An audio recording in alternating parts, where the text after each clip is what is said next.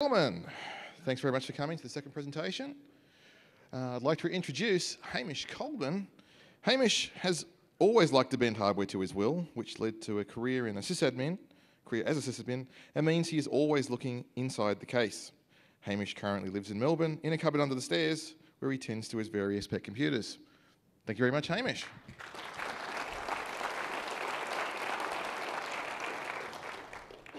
Thanks for coming. Um, this is my first LCA talk at the main conference, so uh, if you have any questions, can you leave them to the end? Uh, I expect to have time, but it would be best. And the slides will be online after I finish the talk. So, who am I? Um, as uh, Rob said, I'm a system programmer. Some might call it a DevOps these days, but you know, I've been calling it a sysadmin for years. So, there you go. I'm not actually living in a small box in Melbourne anymore. Now I live in a small apartment in Hong Kong, so it's changed since I wrote the talk proposal. Um, and in this talk, I want to talk you through a couple of different things. I'm going to try and encourage you to be able to make changes to the hardware you see around you and get you back into the mentality of questioning whether or not your shiny new toy is right for you. What can I change is the question. Not hey, it's shiny, it's awesome, I don't want to leave it, I don't want to touch it. So, why did I start my fight? I don't think that hardware is meeting my requirements anymore. I certainly don't want cheaper hardware at the expense of quality, which seems to be the option that we're getting a lot of the time. Um, and I don't like feeling like I'm using things that don't suit me. It's really not something I want to have to pay money for to get something that I then end up saying, oh, it's, it's kind of all right. It does what I want, but it could be better. So I want you to feel like you could do something against that. I certainly want to feel like I could do something about that. So, not that I say could. I don't expect everybody to run out and go and pull apart their keyboard or hack some other thing that they've thought of. I want you to feel like you can. And that's something that I think is important that we continue to have as time goes on. Um, there we go. So laptops do seem to be getting smaller, which is good, but they're not always getting smaller in the right way. You end up losing things like various ports. Um, and I've looked at other ranges of laptops, but historically I've used ThinkPad laptops. I've had a lot of ThinkPad laptops, and they all basically suit what I needed previously. I've looked at other ranges of laptops, and they seem to have the same kind of effects happening different times, but the same effect. Um, I don't want to end up with a laptop with no keyboard, but I don't think anybody does. I try to sit down and work out what my ideal laptop was while preparing for this talk, because you know, otherwise, why am I doing this? What have I got as a target? And I came up with a number of options for what I needed. And it's really an ideal laptop there are a whole lot of things here that can't be achieved. There's a whole lot of things that can be achieved, though. Easily portable is my definition of a laptop. For instance, I look at laptops with a ThinkPad, uh, with a keypad on the side, and I go, that's big. I don't want big, I want small. So I've already narrowed down what kind of laptop I want. I can plug in a keyboard if I actually need a keypad. The laptop that has no blobs would be ideal. But not anybody can do that at the moment with a modern laptop. Even there's a company out there, Purism, that actually had that as their intent. And they still can't get rid of all the blobs in their laptop. Although there's been some movement on that since I wrote this slide. I don't know that they are actually shipping anything that has no management engine blob, just as an example. And I want it to actually be a laptop. I was really excited when the Novena laptop was uh, as an option except that it's not actually a laptop, it's a portable computer. So again, I've narrowed it down to things that I think would be useful for me to have, which means that the scope of what I'm actually trying to change can be narrowed down as well. First, address something on my list of things that I like. What can I change from that list? And I can't build a whole laptop. I've only got a certain amount of skills. So I'm left with the two things that are important to me is the ergonomics of using a laptop all day. The screen There's a lot of people out there with projects to replace screens on their laptops. There's a lot of aftermarket options. That's not actually a problem that needs solving, I don't think. And the keyboard of the newer ThinkPad range didn't meet with my idea of what I wanted in a laptop. So what could I do about the keyboard? Can I change it? I don't know if everybody has seen a ThinkPad keypad, but I've had them for a long time. I own every keyboard you see here. I own the laptops behind them as well. But they've had pretty much the same keyboard for 20 years, up until 2011. And then they changed. They changed fairly significantly. There were changes in the laptops before this point, and there are changes in the laptops after this point as well. You can see some of the changes with the um, weird laptop up here, where they did rather surprising things, like um, decide that some keys needed to replace the caps lock key. But they also did things that other members of the industry thought they'd do uh, recently with the Apple uh, removing the function keys. They left the escape key in. But, you know, it's a keyboard with a number of strange design decisions. And I'm looking at things like this and I said, well, if this is the way it's going, I really do need to work on what I can do because I had some ideas about what I wanted in my keyboard. I actually liked the, um, the old keyboard and the keycaps, the way they weren't island keys. But more importantly, they had a very nice feel, they had a lot of travel, they had the ability for me to type on them all day, and 20 years of muscle memory of knowing where the keys are. So when you change it, this is the very next model on the right here. When you change it, they changed it quite significantly, which wasn't what I wanted. So what could I replace? Turns out that the keyboard connector from those two models is identical. I can actually physically just plug the keyboard in, except there's a couple of issues. One I didn't notice until much later is that the keyboards on the newer laptop actually have a backlit keyboard. It's an option, but it's an option that's always on the motherboard, and the motherboard always sends high current voltage through the keyboard connector. Um, this needed to be pointed out to me. Uh, it took a while for me to be able to actually see it. I didn't believe it until I could see it. And apparently I was lucky that when the high, high current went through the, uh, my keyboard, I burnt a little tiny hole in it in the right spot. Other people have had things like their mouse keys stop working when this happened. So I did this to several keyboards and they all had the same failure mode and I crossed my fingers and hoped that the rest of the world had the same answer. But there's uh, somebody out there who pointed this out to me and said, here's how to fix it. You need to insulate these pins so it doesn't actually affect it. Um, after I've solved that problem by blowing up some tracks on my keyboard, I still had some problems. The difference between the number of rows on the keyboard meant that they had rearranged the keyboard matrix, which meant there were some dead keys. There were some keys that had the wrong thing happen when you pressed them. A lot of the fin key combos didn't quite do what they said on the box anymore. And there were some keys that didn't work at all, like the, the new keyboard doesn't have a caps lock key, the old keyboard, uh, caps lock light, the old keyboard did. Some people had their own answers for this, which I looked at and said, that's rather laborious. Attacking it with a razor blade and pulling it apart and rewiring the actual matrix on the keyboard wasn't error free. I thought there's got to be another way of doing this. I found some schematics and they showed me that in fact all of the keys were still connected.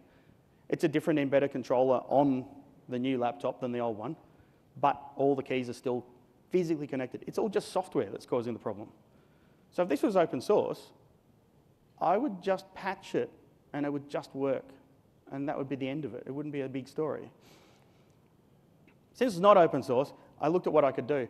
The internet has a dump of a ThinkPad firmware from 10 years ago.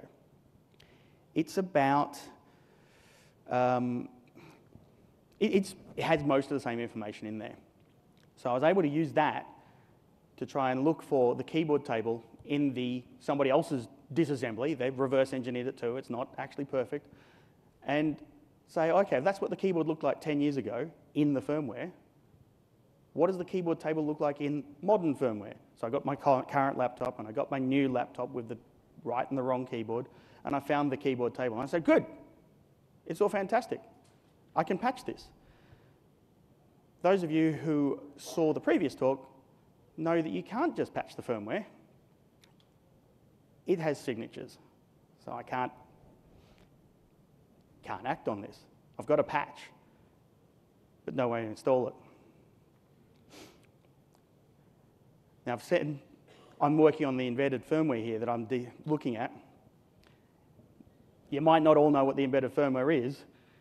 The embedded firmware runs on the embedded controller. The embedded controller is another computer inside your computer, very small one.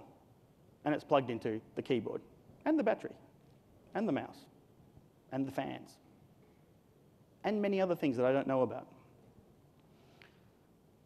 So I pulled out the internet and eventually somebody else had actually worked out how to fix the signature. So thanks, Matt. You should have seen his talk. I won't explain it all for you. Go and have a look at the video. But if you mid miss it, what he did is he worked out how to take that firmware, reverse engineer the encryption and the signatures, and allow us to then repack it up with a patch applied. Great, now I can install the patch. Well, not really, because it didn't actually work. Some of the keys moved around, some of the keys didn't. Some of the keys just didn't come live with the patch that should have fixed it all, according to my keyboard table. So that's when I actually started saying, okay, I'm going to have to reverse engineer this. I'll need a tool to do this. I'll need a tool that supports the firmware, uh, the, the hardware that the firmware is running, which is this ARCompact system. RadAir, a tool that is used for reverse engineering, has support for that. I opened it up and I said, awesome, I can look at this. I looked straight at this and I said, um, that looks like a mess. And if, if it looks like a mess to me, sorry, if it looks like a mess to you because you don't know what you're looking at, it looks more like a mess to me because these arrows should point somewhere and they should do something. Turns out that RadAir didn't actually support this CPU very well. So I had to improve it. In order to actually successfully reverse engineer the firmware, I ended up going off and yak shaving. I had to rewrite the analysis tool for radare and most of the analysis engine that they used for this CPU tool was written for a different architecture, was written for an older version with only minimally support for the one I was working on. And while I implemented a fair bit, I only took the low-hanging fruit. I only took just enough to make sure that I could actually see what I was doing. Because when I'd finished doing my, my uh, reverse engineering, the arrows look better.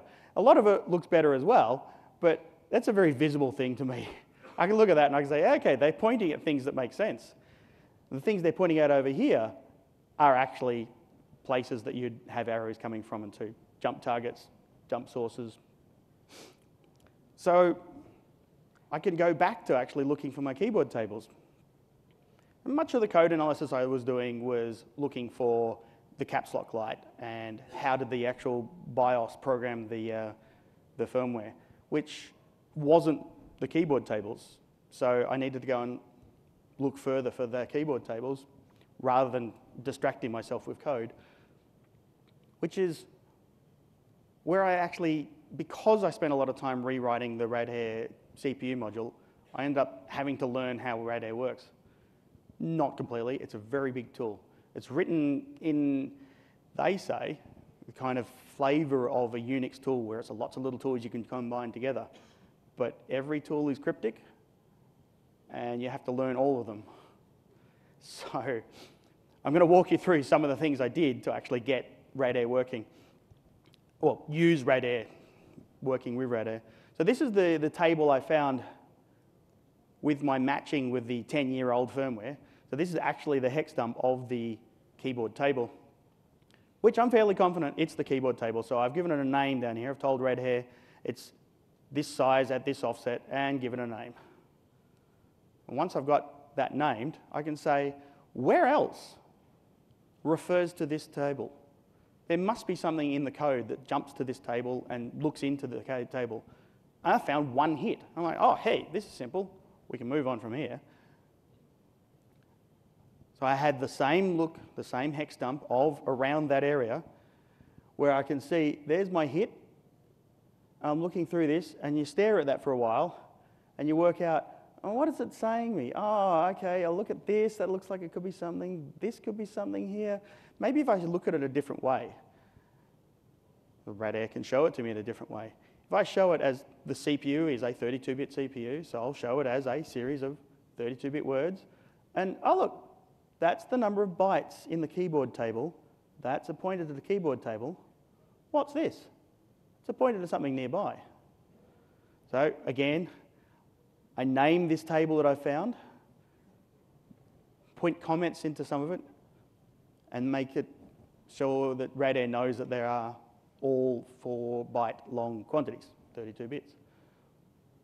And then go and have a look at the thing I've just found. It's just, I can see the thing I've just named, it's highlighted it for me, and I can see before it, ah, okay, I'm not really sure what that is, but it looks like it is 110 hex bits long. So it's the same size as the keyboard table. All right, I'm fairly sure I found something. Why don't I call it, it's a bitmap, and I can keep giving something a name. And if you keep doing that repeatedly, eventually you can print out what you've got and it starts to make more sense. This is exactly the same list that I showed before, printed a different way. And you can see there's my comment about, oh, that must be the size. There's a pointer to the first table I found. There's a pointer to the second table I found. And there's some more work that I have to do. I haven't found what that is at this point.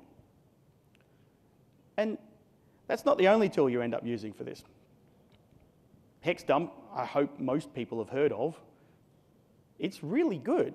Hexdump has an alias called HD, which I didn't actually know about until oh, a year ago, which shows the hex dump in the format that I call hex dump rather than the format that Unix calls hex dump.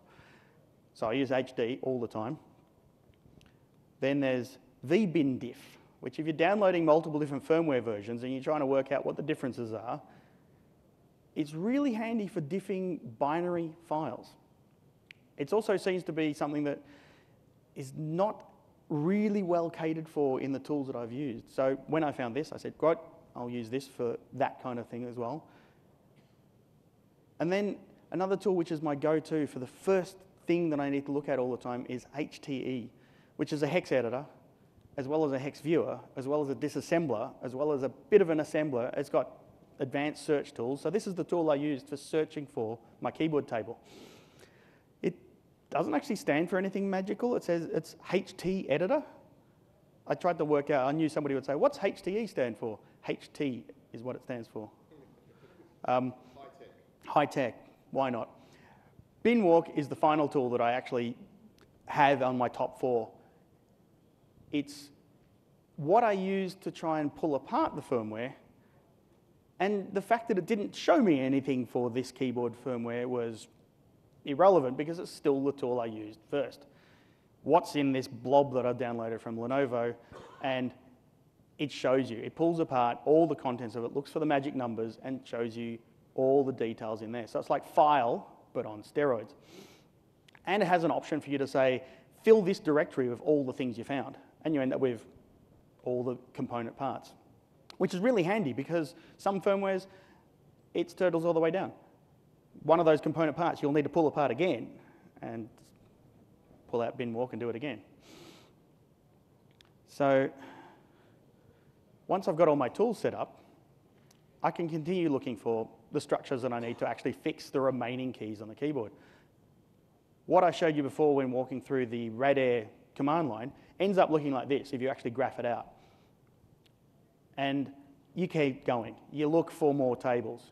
You keep following all those pointers and you look for more pointers. And you end up with more tables. There's a lot of them in the firmware. It's around about this point that I'm searching for various parts of the firmware that I hooked up with a guy called Nitrocaster. He found me through the internet, basically, because I posted on zmatt's blog post. He then searched me out and contacted me and said, hey, let's work on this he'd found the live key bitmap, which is what I'd found as the bitmap before. And I've abbreviated enough that I can't actually point at anything here, sorry. That bitmap was the thing that turned on the dead keys.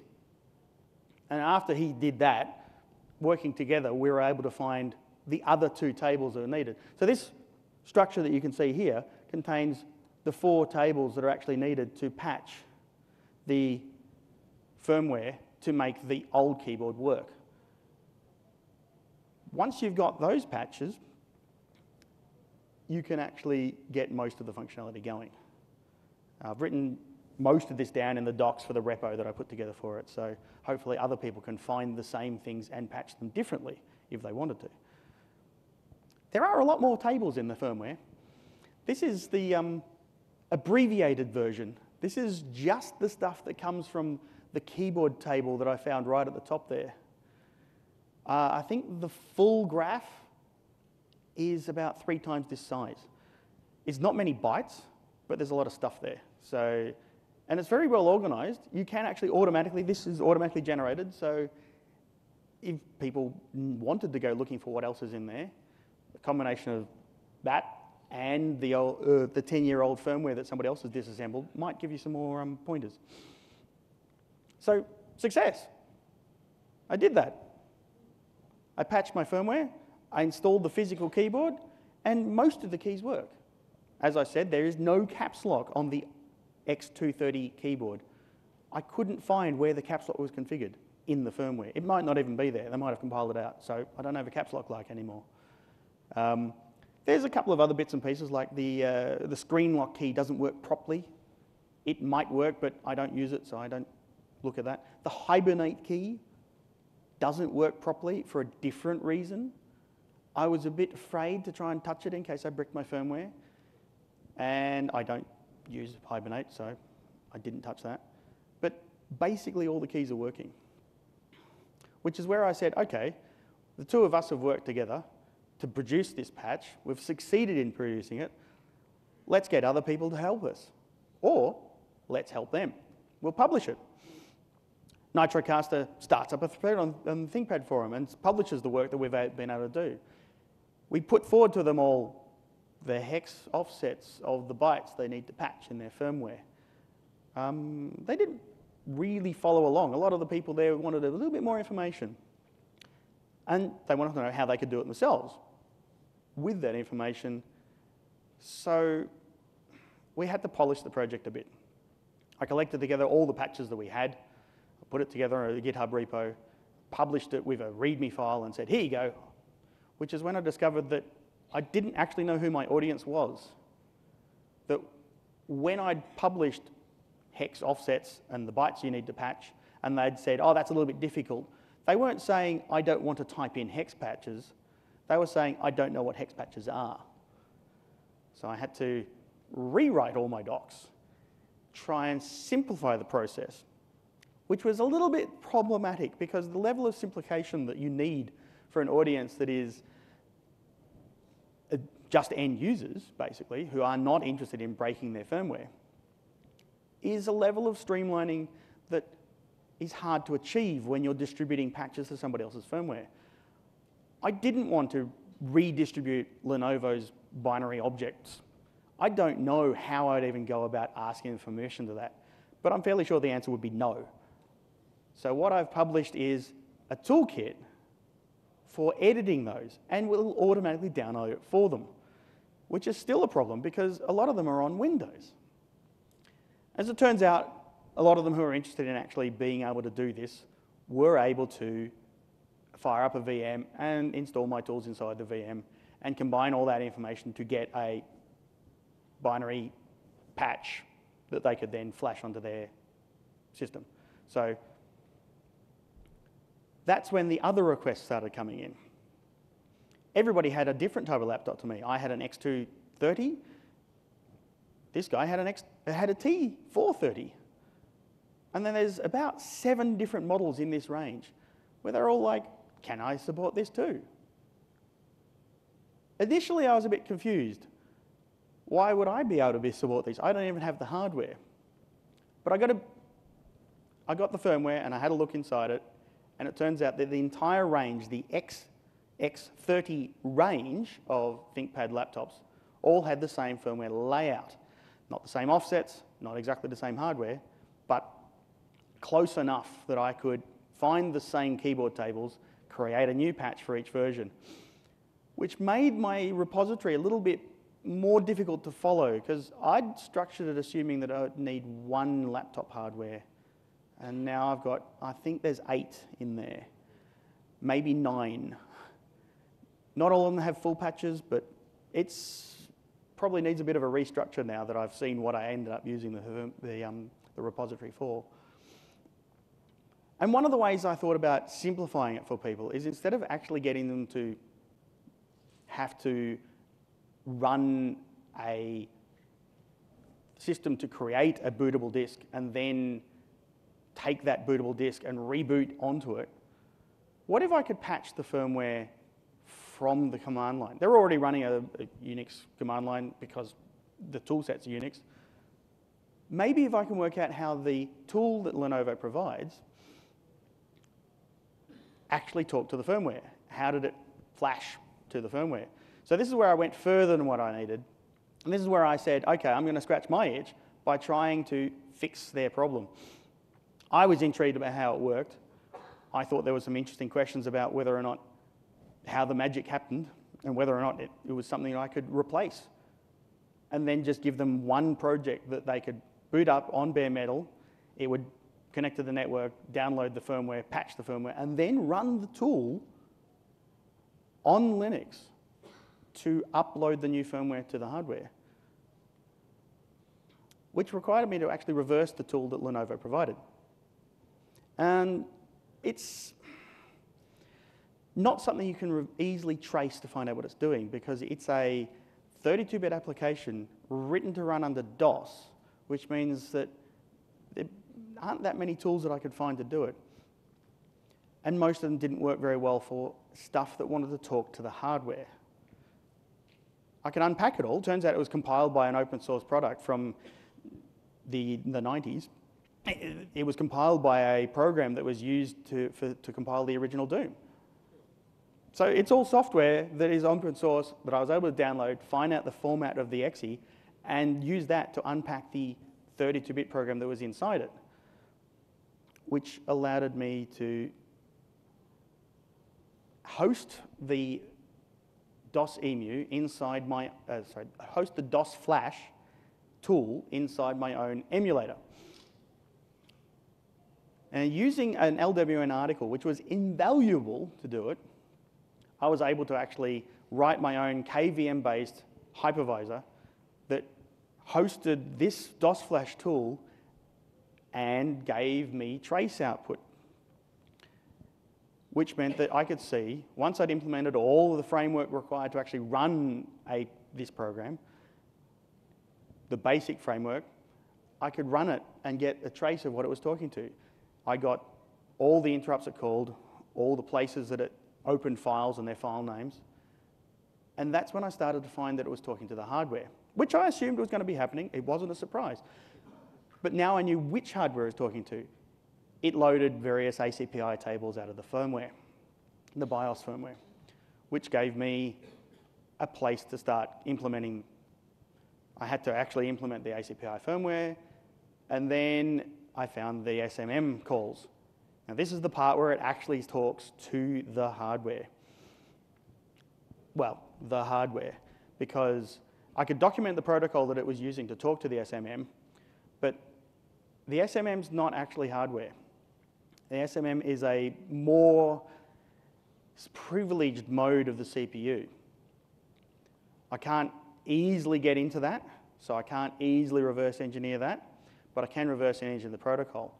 If you don't know what SMM is, your user code is normally run by a kernel. Your kernel is running inside a virtual machine hypervisor. Even more privileged than a hypervisor is this system management mode. And it's a little bit of code that sits inside your CPU that you can't talk to, that you can't run, that you can't edit.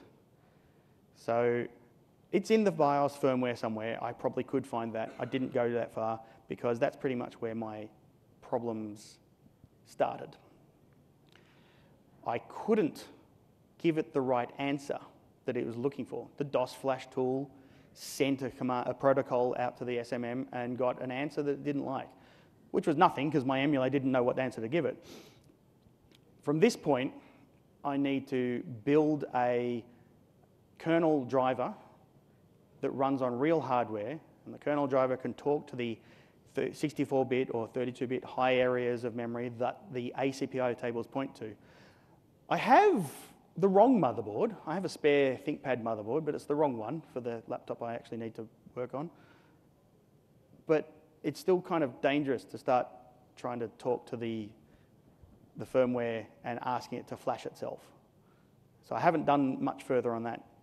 I haven't written the kernel driver. But I did wonder how this would be applicable to newer models the various laptops that I've replaced this on have all been 2012 laptops. What if I actually wanted a modern laptop? I've been uh, able to upgrade my laptop by one year. So I looked at the other ones, the newer models from the same kind of ThinkPad range, and they all have the same kind of firmware layout. So they all have the same kind of tables. If I could physically shoehorn the keyboard in there, I could probably apply the same patch. The 250, I don't know how the encryption works, but I assume that I could reverse it the same way that Matt did for the X230. The latest model, at the time I wrote this slide, was the X260. I had a look at its firmware. It's not encrypted at all. But it does have another 256 bytes worth of stuff added to the end. So I assume it's actually going to be harder to work out because they've probably moved up their their, their game and cryptographically signing it so it's harder for some random person to replace your hardware, your, your firmware. They've subsequently uh, announced a, a, an X270 laptop. They haven't released any firmware for it, so I haven't looked at it. And what are my next steps? Obviously, I should actually start using the laptop that I've hacked with this. I'm still using the old laptop because it hasn't broken yet. I'm worried that I'm going to run out of laptops. I've just got a stockpile at home of two or three of these laptops because that way when I break one, I can move on to the next least oldest one. They're all old though now. I know that I'm going to have to replace them at some point, so I can't just enjoy using the laptop that has this. I do intend to write the kernel driver that allow me to try and continue tracing the system management mode protocol. And I'll probably be doing that on my old X220 laptop motherboard but I don't know if it'll go anywhere. And I don't know if it's applicable to modern hardware, so it may not actually help me. Another idea I had was to take the same physical hardware that I like and build an adapter. You can see it on the screen here. The adapter you plug the hardware in keyboard into and it's got its own microcontroller and presents as a USB keyboard. Lenovo used to sell this they used to have a keyboard you could buy with a USB dongle on the end of it that would do all of that. They don't sell it anymore. They sell a newer one. It has options with Bluetooth, and it's a smaller case, and it's the wrong keyboard. So I can't buy them anymore. I used to be able to buy them. And if I get that small enough, I could probably fit it inside the laptop in one of the gaps. The newer keyboards on the newer laptops, they have a different connector on them, but they're still probably a very similar electrical layout. So if I actually got one, I would try and pull it apart. Which also leads me to why I haven't got one, because it's a $1,500 expense that I know I'm going to attack with a Dremel as soon as I get it. I can't justify that, so I'll keep using my old laptops until they all break. But crossing my fingers that I'll be able to solve that problem when they do all break.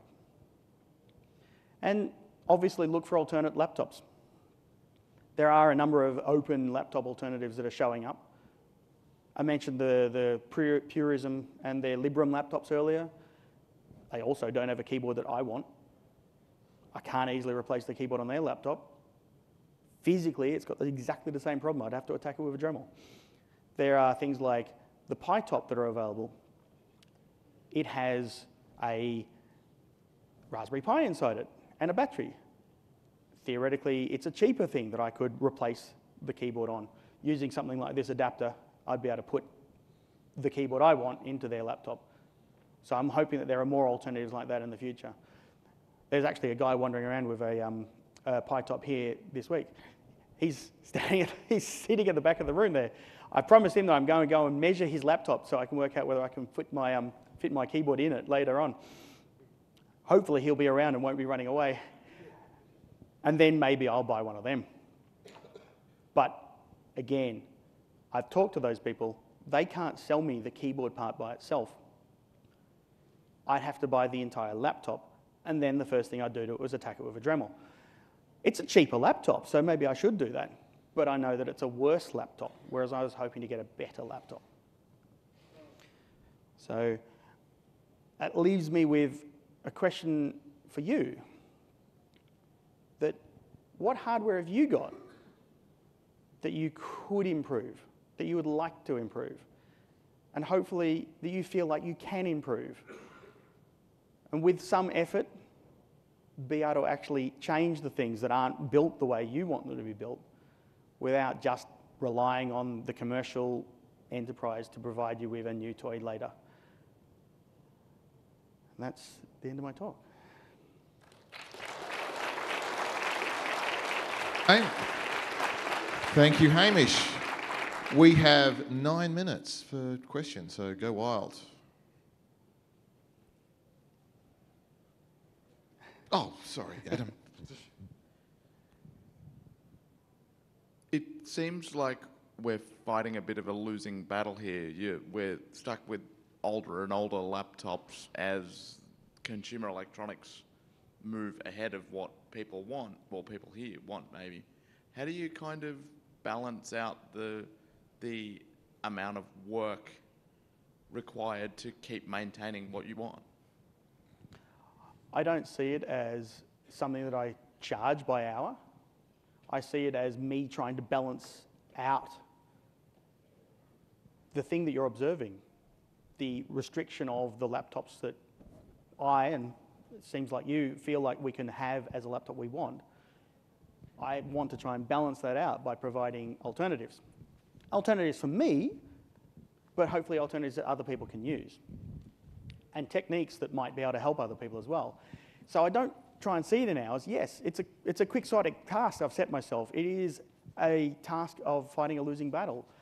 But how do I feel like I've got some say in my, in my hardware unless I feel like I can change it? So that's why I'm, I'm not seeing it in terms of hours spent. Um, and hopefully there will be better alternatives in the future. We're seeing easier ways of people making small batch manufacturing. So maybe if I keep working on this, I'll be able to small batch manufacture something. And maybe that will give me a better laptop. Um, more of a comment than a question is that I don't know if it'll help on the mechanical side of things with the keyboard, but um, Google actually uh, use an open source EC um, for their Chromebooks. So at least on the EC side of things, you'd have a, probably an easier time modifying the EC firmware if you could find something that was vaguely the right physical dimensions for your keyboard. Yep. And they have fairly mainstream CPUs, Intel as well as ARM. I've looked at the Chromebooks, um, and the problem I see with them is more physical. It's, they're, they're much slimmer line laptops, so it's a lot harder to physically get a different keyboard in there. With the island keys, you end up having the case forming part of the keyboard structure. So if I cut a big hole to put my keyboard in there, it might be harder to do. Um, I actually use, as my, my throwaway laptop that I take to conferences and traveling, I use a, a four-year-old Chromebook. Um, so I, I, am trying to explore alternatives that don't leave me just going down a, a, a dead end of spending my life trying to hack old laptops. So I have looked at their embedded controller firmware as well, and it's all open source. I could learn enough to work that out. Interestingly, the, the ThinkPad laptops, there was a Google somewhere of code to replace the firmware on, um, I think it was a T40 or T42 laptop with a complete re rewritten open source embedded controller firmware. Uh, so I looked at that as well, and you know, I think there's quite a lot of resources available to me for trying to work on the ThinkPads, which is another reason to stick with that. And I've got familiarity. Repeat the question, I didn't hear it. Um, I think you said Lenovo does ThinkPad style Chromebooks. Um, I don't really want to give Lenovo my money because they have taken my keyboard away from me. I'm happy to buy second-hand hardware because obviously that's not going directly to Lenovo. But I keep on seeing Lenovo hardware and going, oh, look, this is a nice improvement. They've done something cool. Why would I give them and reinforce their message that they are doing the right thing? So, you know, again, it's a quixotic opinion, but I have discounted the Lenovo new hardware. One over here. How to get geeks skinny. It's um, it's great to see someone saying, you know, I'd like this this keyboard that I'm actually used to, you know, that I'm ergonomically suited to now, um, and how can I keep it? Do what are the other things that you'd like to add? Um, features, you know, if you could start adding features in the firmware for the keyboard controller, the things that you'd like to do? Well, I'd like to know that there's nobody putting a keylogger in there. So um, we saw that there was quite a lot of empty flash in the end of this. There's quite a lot of room for adding extra code. So, you know, if, if we did work out, I didn't look at all in the peripherals, the hardware peripherals that are on the embedded controller. So if we did find enough of the embedded controller programming manual, we could add in all kinds of features that we wanted. I'm not sure what I'd want to add though. I mean, usability things like removing the laptop's, um, the, the battery uh, authentication or making it optional to whether or not you detect that the wrong charger is plugged in. They all sound like things that are just usability. Um, there's, there's thermal profiles in there, there's the fan speed, but the, most of it looks like it's related to backlight control and the various little LEDs on there and what sound the boop makes when you plug the power in. Not really complex things, not really things that I feel an urge to change. I think I'd more want to actually make it transparent. The embedded controller could provide me with a basic autonomous brain to do the basic things that the laptop has to do even when it's off or crashed but it could also provide me with a pass-through interface so I could write more advanced code on the real CPU. And I think that would be what I'd want to do. You know, then only after doing that and experiencing which things I wanted to run permanently, I'd be able to answer your question. I, I can't think of anything off the top of my head, really. Sorry. Right at the front here, back. So I know it's not quite a control that you want, uh, but at least I've noticed at Lenovo maybe a year or two ago, they made a survey asking us how many LEDs we wanted, where we wanted the keys to be put back to after they messed it all up. Uh, did you find that it helped a little bit, or is it still? Well- obviously it's not one size fits all, right? But I, I did their survey. right. Uh, the, the, um, the, the mythical, I think it's uh, X84 or something like that. They ha- even had a code name for the laptop. Um, it hasn't eventuated. It's now a year and a half later, I think. It was good that they were asking the question. The questions that they were asking seemed the right questions. They seemed to be asking me where I wanted to have my keys. I'm like, that's great. They asked for my opinion. And then nothing happened. Um, reading the ThinkPad forums, well, skimming the ThinkPad forums, they, um, that does seem to be that one of the people who drove that project internally to ThinkPad either moved or moved jobs, moved departments or moved jobs. So it may not actually even happen.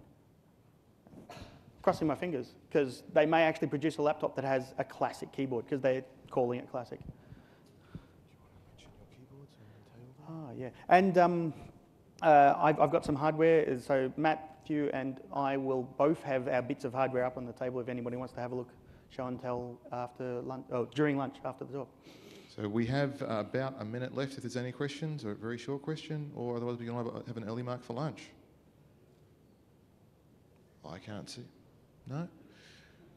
Hamish, thank you very much. Thank you. It's been a pleasure.